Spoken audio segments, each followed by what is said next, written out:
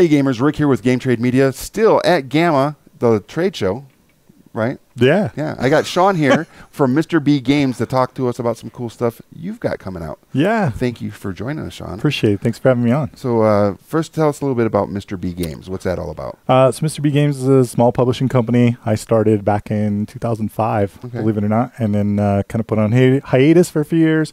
And then I started uh, back making games full time in 2012 Nice. and been going ever since. So, Just killing it. yeah, well, trying. All right.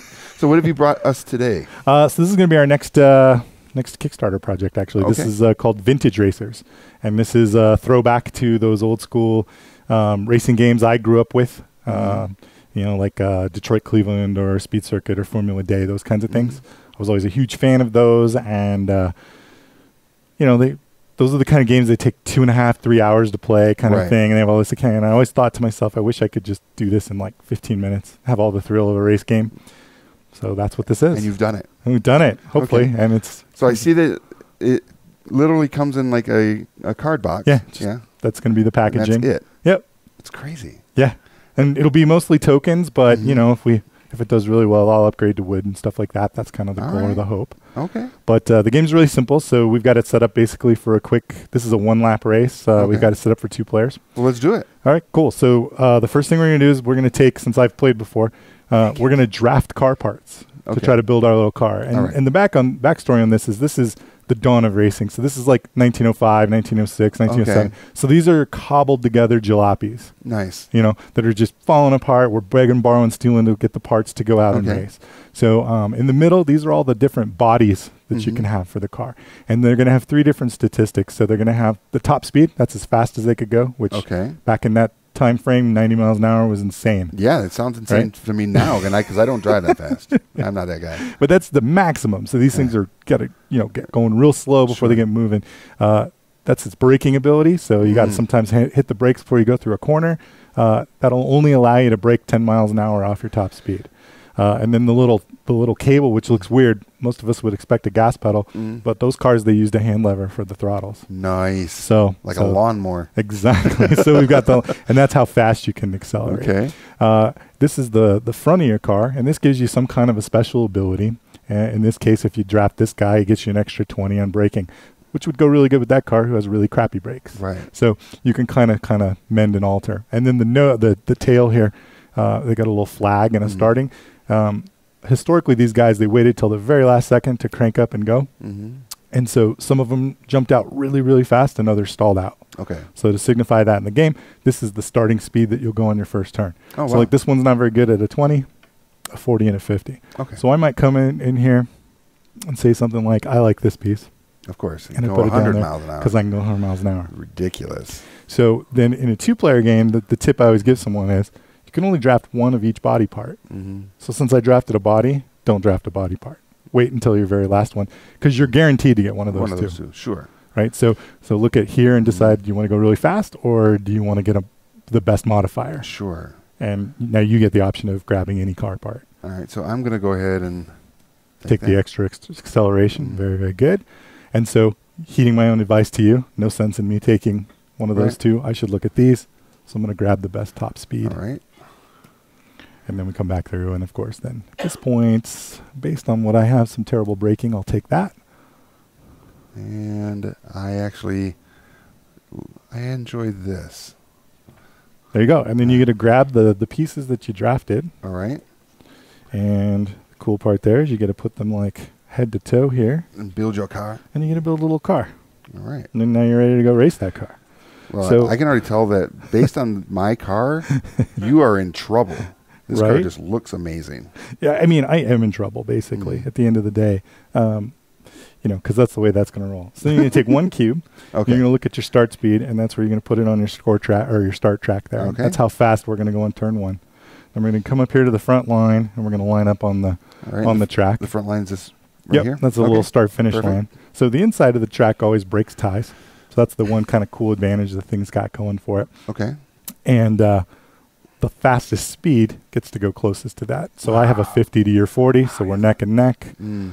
and away we're going to go. Now these things here, these represent like your driver's natural raw ability. Okay. So you have all the limitation of your car, except for maybe you go, man, I really need to hammer on the gas this turn, but my car will not allow me to accelerate.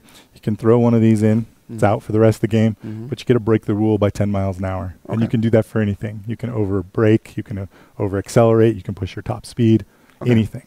Um, and then the other thing is there's posted speed limits in all the corners. Mhm. For me to safely navigate the corner, I have to be at that speed or less. Okay.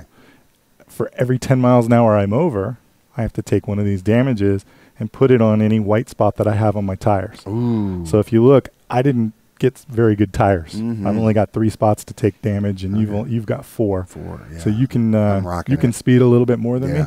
Um, historically, these guys used to run two per side, and one guy would have a water bucket and just basically pour water on those tires after laps to keep them cool from shredding off. Nice. So I wanted to simulate that in the game that hey, these things are shredding and you're really just falling apart. So that's kind of where the backstory goes on that. okay. So on the very first turn, we look at this thing. We know what our speeds are, Mhm. and you get to move one space for every 10 miles an hour. So I'm going, I'm going 50. So I go one, two, three, four, five.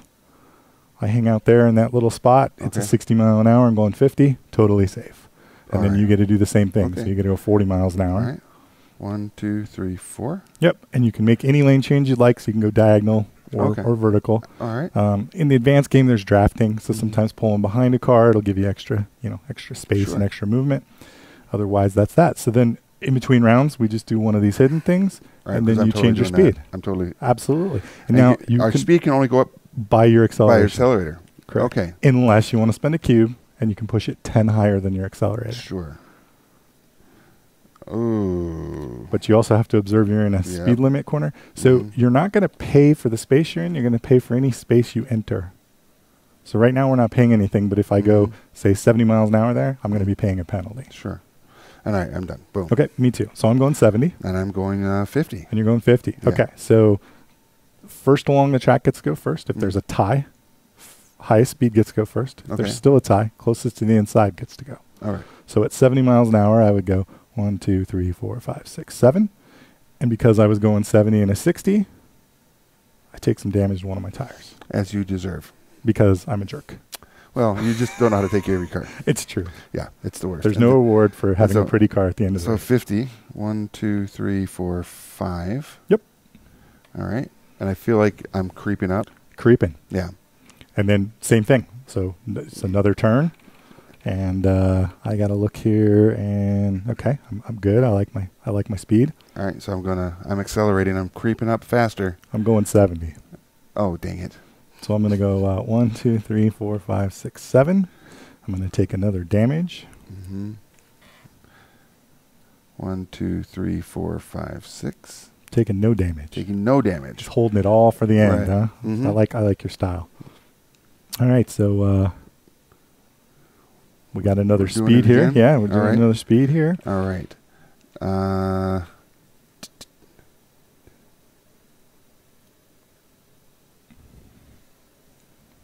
all right. So I'm gonna go to 80, And I'm dropping down to 50. as you should, because I see you hitting that wall. It, could it could get Mhm. ugly. Yeah. So I'm gonna go one, two, three, four, five. All right. Not paying no penalties. And one, two, three, four, five, six, seven, eight. Closing I- that gap. So I am paying a penalty. So you're gonna pay two, Two. and you can take them as tires, or you could spend your skill. Uh, another thing you could do is you could spend a cube to slow down, hit the brakes, and stop on the outside. Save Mhm. yourself a save yourself a point of damage. And how do I do that? Just Uh, yeah, you just say this, throw the cube in there and say, "Hey, I want to pump the brakes." I'm gonna pump the brakes. and then you instead of going uh, eight Mhm. squares, you go seven squares. Yeah. I'll do that. Save yourself a, a point for Sure. for a rainy day, right? Right, because I'm winning. they don't. You don't see it yet. Uh, you're right. I, I'm not seeing Yeah. it, but you know, we, we, it, we're getting there. So then we go up here to our uh, our next go, right? Yeah. And let's see. Yeah, I'm gonna do that. Keep the pressure on you. Keep you honest. Right. And I can only decelerate by one. Right. Um, what's Oh. your what's your brakes? Oh, three, three. Yeah, Three. so- okay, I'm yeah, good. so you All go right, down three Down to spots. 60. And I'm going 60 as well. So I'm going to go uh, one, two, three, four, five, six, and I'm going to take another one of these tires. And that's my last tire, Ooh. so I can no longer take tire points. right. Uh, I can only use these things Mhm. anytime. So if I'm going over on miles, I can use that cube as well, just like Okay. a tire. But I sense. all my freebies are gone basically. All right. So one, two, three, four, five, six. Ooh, I'm way behind. I'm gonna have to do something here. slam on the uh, on the old accelerator Mhm. here. All right. And it goes really fast with two. Obviously, I mean we're already halfway around the lap, and I don't even think we're five minutes in. So this is great. All right. So I'm going to do that. I'm going to accelerate. Okay, I uh, accelerated to 70. All right. So I'm gonna spend a cube here to go through this corner. One, two, three, four, five, six, seven. Mm-hmm.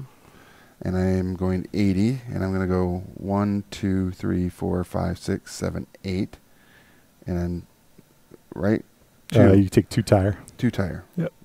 Yeah. And you got one more tire or two, Two more, more tires, tires. left. Yep. Yeah, I, I'm good. All right, and we got one more here. So Ooh, that's the worst. All right, we're good. All cool. All right, I'm going 60. I'm going 80 still. You're a fat. You're a madman. Yeah. One, two, three, four, five, six. Jumping up on that top there. All right. So eight. One, two, three, four, five, six, seven. So instead of there, I'm going to hit the brakes again. Yep. Let's throw one of those out, right? Yeah. And And Do don't pay a four penalty. right. And go. Jam I, on those. I was really thinking I was going to just crash into you sure. because that was that was my goal. I figured if I could just you know because rubbing is racing. It, it is racing, Right. and you should do that from time to time. Oh, I almost screwed myself there. That would have been bad. All right. All right, I'm going 80. I'm going 50. Okay, so I'm going to go one, two, three, four, five, six, seven, eight. Ooh. So that's two from this corner Mm-hmm. and one from this corner. Ooh. And I'm going 50, and I can do this, right? Yep. One, two, three, four, five. All right. Yeah. Then we're going into that final corner. And I'm staying at 80. I bet you are. I'm going to spend my one penalty here and go uh, one, two, three, four, five, six, seven. Now, in the short track race, Mm-hmm. farthest past the finish line, but I actually entered another corner and I don't have anything to pay for it. I miscalculated, So so I'm actually gonna? I'm actually gonna spin out. Nice, but you still won. I didn't. Well, if you cross the finish line, I'm not then I to. didn't win. So if you One, can get past two, the finish three, line, you'll four. get. Five, six, seven. That's all you got to do, Cool. and you'll beat me because I crashed.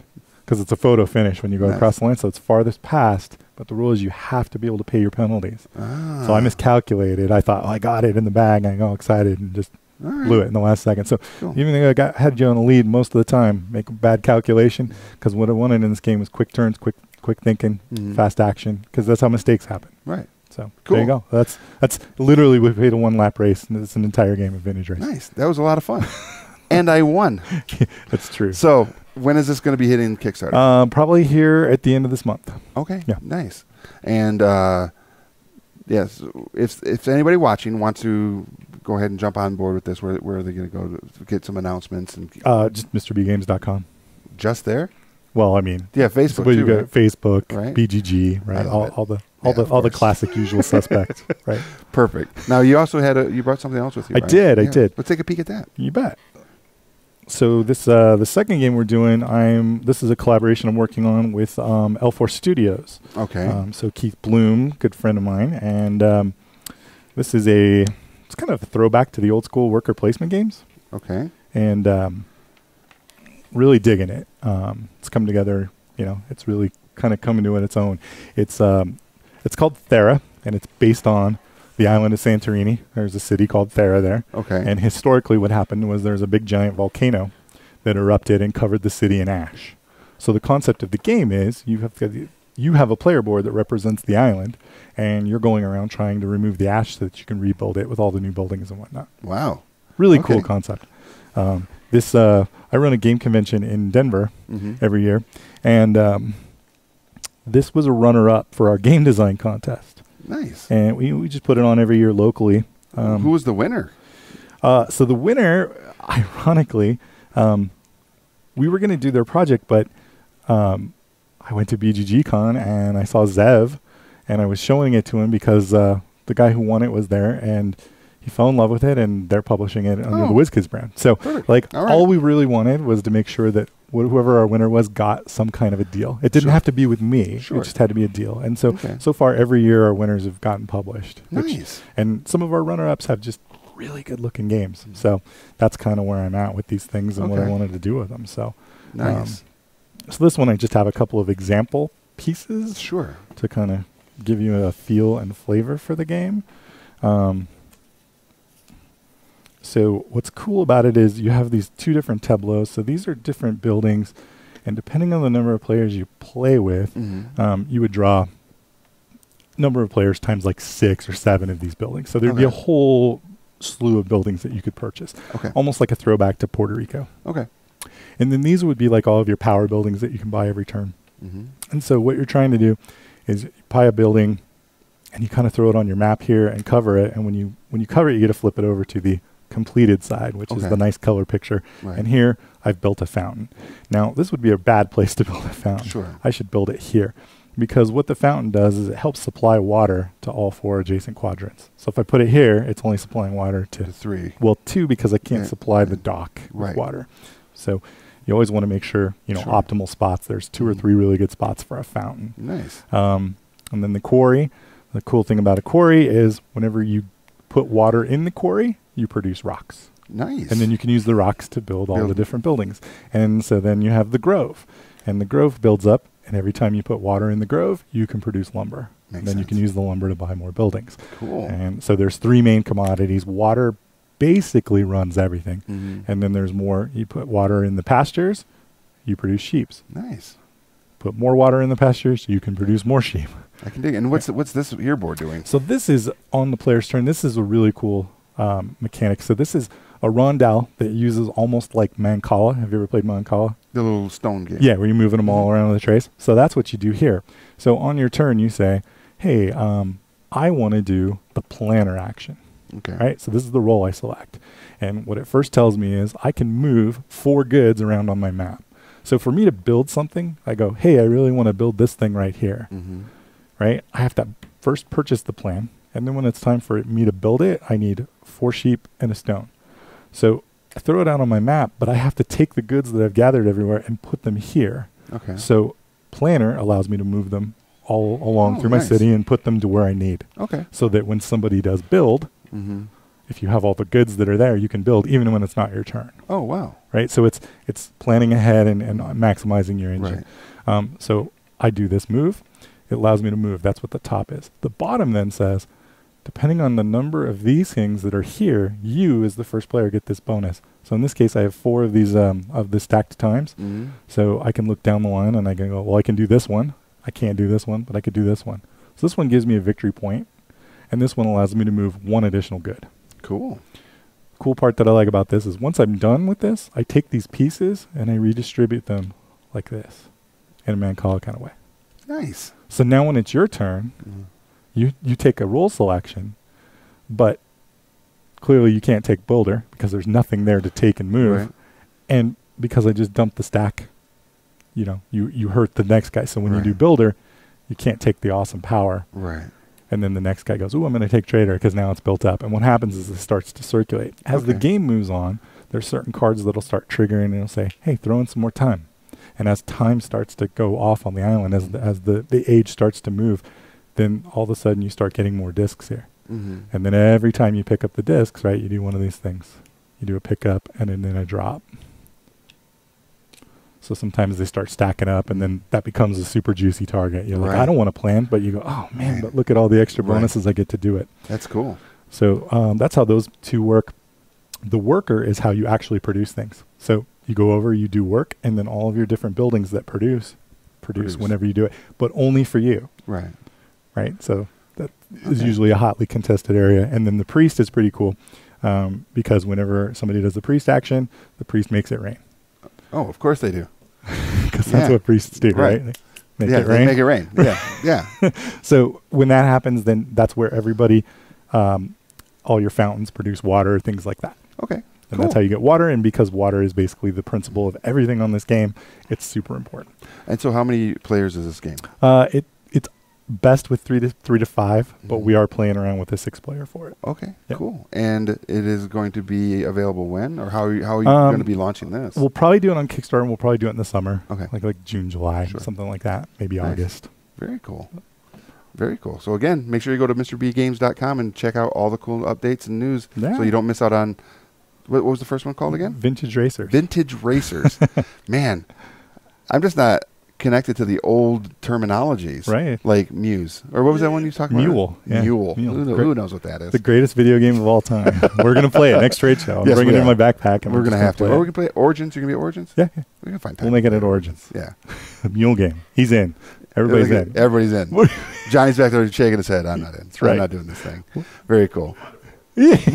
It'll be easy. Sean, thank you so much for joining us today. It's Awesome, always a man. pleasure. Good to see you. And everybody out there watching, make sure you check out MrBGames.com and make sure you're following all the Game Trade Media news coming out from GAMA and all the other cool stuff we've got going on. And then when you're not watching us, go to your local game store because I'm Rick and I'll see you there.